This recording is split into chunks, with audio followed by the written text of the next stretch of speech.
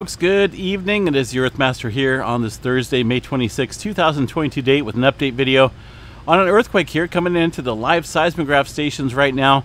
See a pretty strong signature from an earthquake. This is coming off of a 6.4 earthquake, uh, earthquake in the Timor area. Let's go ahead and check out the latest activity on the earthquake 3D globe here. This is also uh, the EMSC model showing the activity. Stand by for just a second. There we go.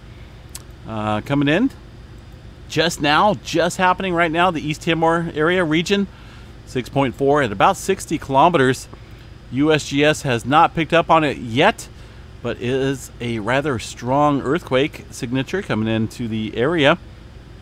We'll see what the USGS reports this as, but it comes after a, a uh, pretty large uptick in earthquake movement here over the last 24 hours. This would make the fourth large earthquake here within that time frame. Uh, we had a 7 uh, 7.2 earthquake here, southern Peru. We had a 6.4 earthquake over here around the um, area here. Let me show you guys real quick on the USGS map. South of the Vanuatu area, around the Loyalty Islands, south of Port Vila, right there on the map. That's going to be the 6.4. And also afterwards, we had a 6.2 in the area of the southern East Pacific rise. Now we're starting to get a little bit of westward pressure movement here.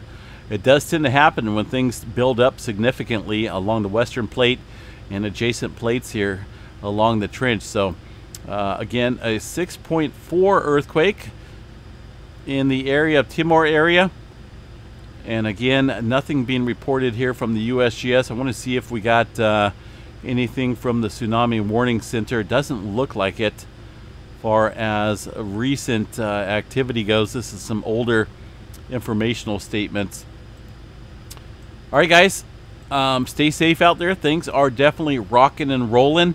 If this does it get uh, upgraded to something much larger, we will provide a, uh, a further update. Uh, but for now, 6.4 earthquake on the uh, on the map see what these uh, seismograph stations are looking at.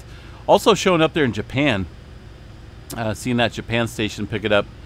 So uh, we'll see what uh, we'll see what this comes out as far as final magnitude goes.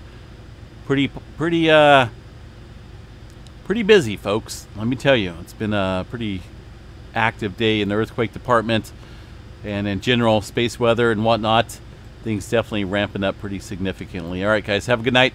Latest update is up on the channel. We'll chat you guys here in a little bit. Have a good night.